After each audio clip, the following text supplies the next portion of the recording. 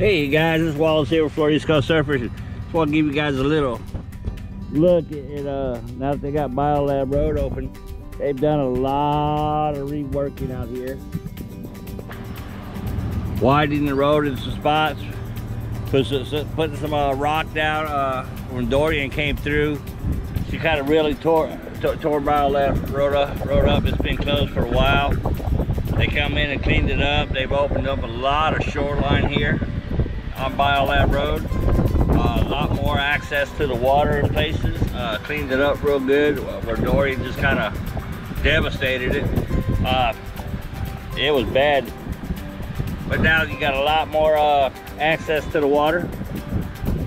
Uh, roads are a little bit wider. On the riverside anyways. Uh, but oh yeah, this right here was all mangroves